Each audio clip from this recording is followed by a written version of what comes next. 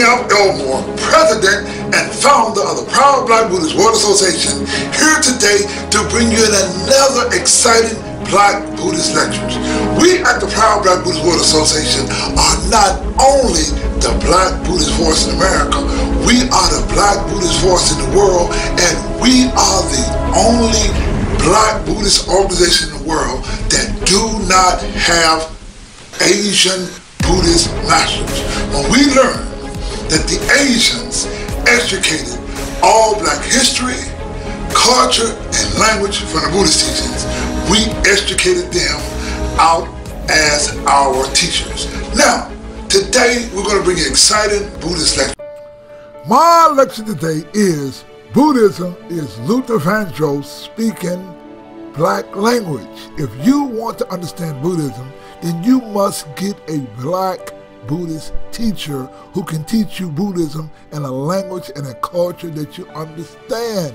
And to understand Buddhism is to let Luther Vandross speak Buddhism to you in a language and a culture that you can understand. According to our culture, our language, and our people. You see, Buddhism is not some Asian a mountain meditation, meditating. Buddhism is your everyday life. And we who are Buddhists practice only the Lotus Sutra. See, it is the Lotus Sutra which is the highest of the Buddhist teachings. And that is the only sutra that we practice or follow. Now, the Gosho reads, quote, with regards to the word kyo, profound meaning says, the voice carries out the work of the Buddha. And this is called kyo or sutra. See, what you must understand is that the Lotus Sutra teaches us that the word kyo or sutra or Buddhist teaching, see, the meaning of Kyo is not just the teachings of the Buddha, but the word Kyo is all the teachings of the universe. You see, you got a lot of black people who are taught Buddhism by Asians. How in the hell can some Asian teach you Buddhism when they don't even speak the language? See, we black people speak a language. And you have to be able to talk black and speak black. And we're going to get into that, you know, in this lecture. Now, I was just on my computer and I saw this man from India, this with his white looking yoga guy with a beard telling you that you can attain peace.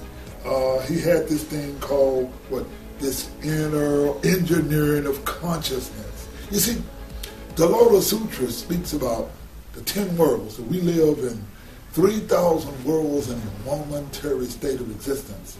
And it explains this. Now, this idea that they're talking about, uh, you're going to engineer this consciousness.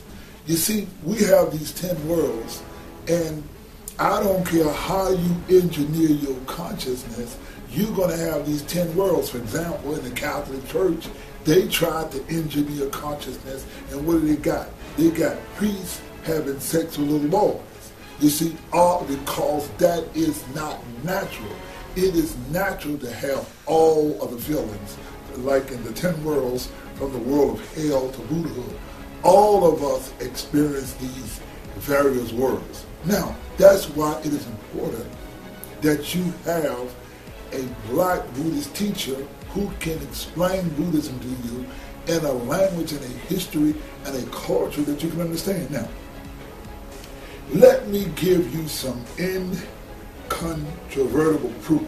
And that is incontrovertible evidence that even in the black community, all one has to do is go to the black church and you will see the black church filled up with women and these women are the foundation of the church, but they are in that church because they either had to walk away from love or love walked away from them, and they in that church trying to find some solace. They trying to find some peace of mind.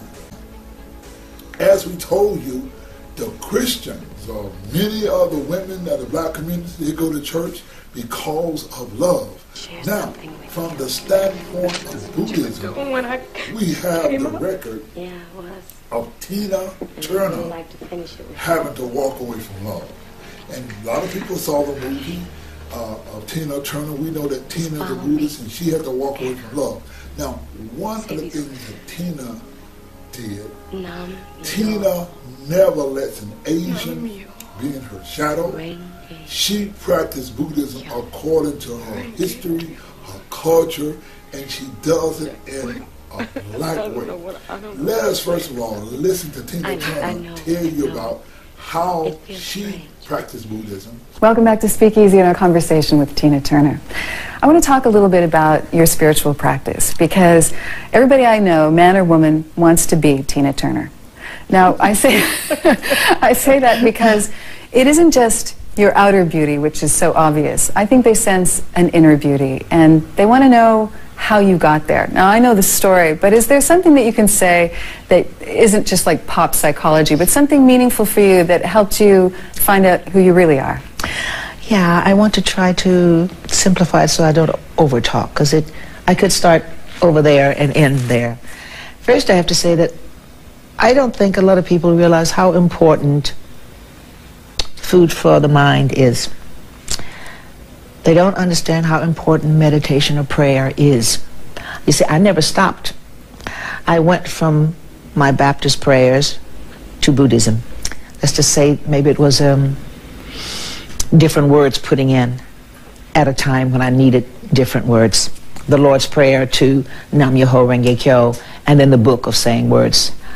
What, what does it do? You can have a house beautiful, houses beautiful, cars, but there's still those moments when you don't feel good. Sometimes you, you're upset, you're just cranky, you're just unhappy, and you have no reason to be necessarily, or you are easily upset. Well, that's what the practice does for me. It helps me not to be upset easily. It helps me to deal with situations on a different level because I think differently about it. I don't get upset as easily. Yes, I still get upset because I'm only human. But the whole attitude towards someone getting upset because someone is blowing the horn or look at that crazy person how he's driving. I don't get upset about it. Things go wrong in the business. Before I get become angry, it, I have to really dig into it to try to find what is going on before I get upset. Not upset first and then find out what's going on. What the practice does, it helps you to feel better, helps you to think different. If you think different, you think correctly. I would say it helps you to think correctly. So that means you can help yourself get the things you want. Some people say, I was told that I could get things, whether it's a car or a house, which some people need help in that way. Well, of course, because you change an old style of thinking, which is not very smart, that blocks you from getting where you want to get.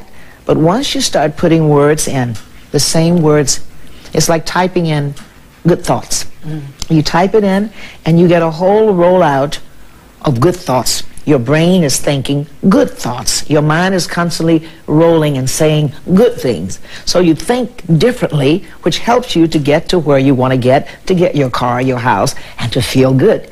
It's really very important what you say, what you think, how often you say it. Well, to use the metaphor of a computer, garbage in, garbage out. That's right. Yeah. Yes. Um, it's my little request. Could you just Om Nom Renge Kyo once just to hear you chant? You want to hear me? Yeah. Okay.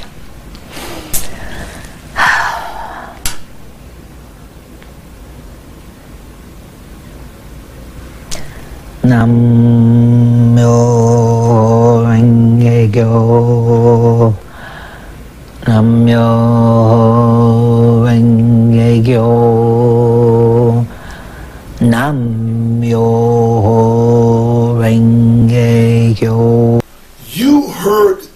Turner talk about her life. Let me be clear. Buddhism has nothing to do with Asians but everything to do with yourself. This is a quote from the Buddha, or from the wisdom of the Buddha. The Buddha says, quote, just as treasures are uncovered from the earth, so virtue appears from good deeds, and wisdom appears pure and peaceful mind. To walk safely through the maze of human life, one needs the light of wisdom and the guidance of virtue. The fact is, we have challenges in life. Many people go, got all the material wealth in life. There are people who are rich, handsome, beautiful, educated, and have apparently everything in life but love. This is a fact in life. Many people have to walk away from love or love have walked away from them. In my life, boy, I couldn't talk to no, I couldn't listen to no Asian, or I couldn't even listen to most white folk. Man, I was hurting so bad. I had to put out some Luther Vandross because Luther can speak black language. And man, I was hurting so bad that Luther could explain my feelings. Now, I was hurting because this woman had left me, and Luther had a song called Anyone Got a Heart. Now, this the lyrics of the song. It says, Anyone who ever loved could look at me and know that I love you. Anyone who's ever dreamed could look at me and know that I dream of you. Knowing I love you so, anyone who had a heart would take me in her arms and love me too. You, you couldn't really have a heart and hurt me. You couldn't really have a heart and hurt me. Like you hurt me and be so untrue. What am I to do? Man, I was hurting. I was hurting so bad, man, and Luther spoke my language. Luther understood. Man, I, first of all, I want you to listen to Luther Vandross sing just a few bars of this song. See, I want you to feel it. See, you gotta feel that culture because we black people speak a language. And the people who are spokespeople who speak for us are our musical geniuses. You see, it is in America, all of America's original music. I mean, the popular forms of music, all of it was started by black people through slavery and the pain and the suffering that we got. We came out of America with they language, and how language was music. But anyway, what I want you to do, I want you to listen to Luther Vandross sing a few bars called Anyone Got a Heart. See, we want you to feel this so we could get more into our lecture. Walking away from love. You see, I had to walk away from love. You see, when a woman left me, boy, I took my ass all the way to Nairobi, Kenya. And the first woman I saw, I said, well, you want to marry, you want to find a good man, I will marry you. Didn't even know the woman, but boy, I was hurt. But anyway, let's listen to Luther Vandross, and we're going to come back to our great Buddhist lecture.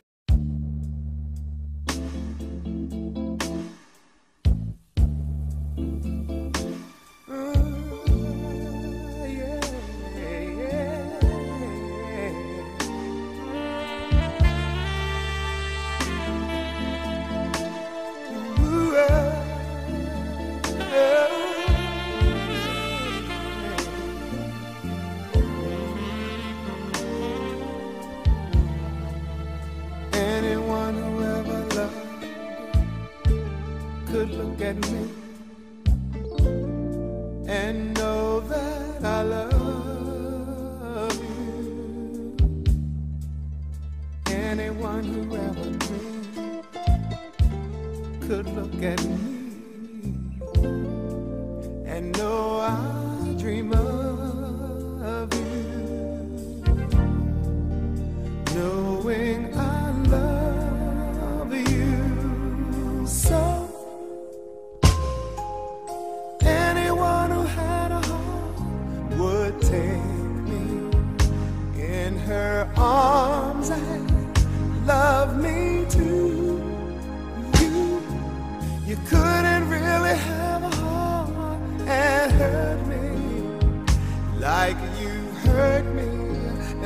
so untrue. What am I to do? You heard Luther. Luther can speak that black language. You see, I had my Buddhist faith to help me walk away from love. We are Nichiren Buddhists and we follow the teachings of Shakyamuni Buddha who teach us to put faith in the law and not in person. You see, we chant Namo Myoho Kyo. See, Namo means to awaken. Myo means correct. The word Ho means law. See, the ultimate law of the universe is Renge or Lotus. This means cause and effect. Now, the word Kyo means teachings. This is the most powerful law in the universe. If you want love, give it. You see, Buddhism is cause and effect. You see, there is a power in faith. See, faith is an unseen power. If you live life based only on your mind, you will never master life. You see, life boy can put something on you that the mind does not work. So when the mind does not work, your faith can always work because even though you cannot see it, you can believe it. Now, if you live life based only on your mind, you will never master life. Now, the word myo also means mind because it is existence and non existent. The mind is mystic or incomprehensible. The way to master our mind is via faith. While you cannot see, you can believe, and it is the power of your faith that changes the impossible to possible. Now, the final power is the power of practice. Practice is power. Through practice, you develop the power of faith. With the power of faith, you can achieve your dreams. Now, there you got it, a Black Buddhist lecture. Buddhism is Luther Vandross speaking black language. Anyway, I hope you enjoyed. I am Anthony F. Elmore, President and founder of the Proud Black Buddhist World Association, bringing you another exciting Black Buddhist lecture. Thank you very much.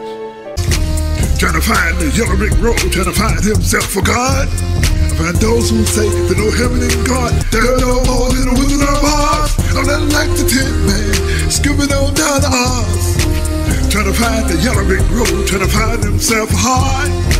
I'm not like the tin man, skipping on down the Oz. Trying to find the yellow brick road, trying to find himself a heart. I'm not like the tin man, skipping on down the Oz. Trying to find the yellow brick road, trying to find himself a God.